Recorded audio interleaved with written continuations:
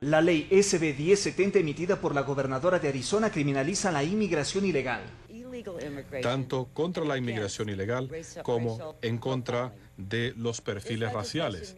Posibilita a la policía detener a las personas basada en la duda razonable. Es una duda racista, se van a basar en el color de la piel, se van a basar en el tipo de trabajo que están realizando. También penaliza a quienes empleen o transporten inmigrantes ilegales. Alienta a que los ciudadanos del Estado demanden a inmigrantes indocumentados. El resto de la población que en el futuro se va a cuidar naturalmente de entrar en contacto inclusive con inmigrantes sin papeles para evitar una sanción.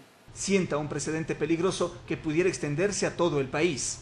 Afecta fundamentalmente a la comunidad mexicana. Arizona limita con Sonora, de hecho fue territorio mexicano.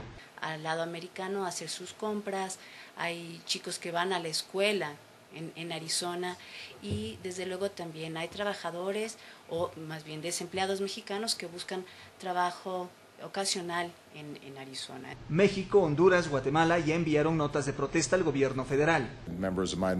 He ordenado a miembros de mi gobierno a seguir de cerca la situación y examinar las implicaciones en los derechos civiles de esta ley.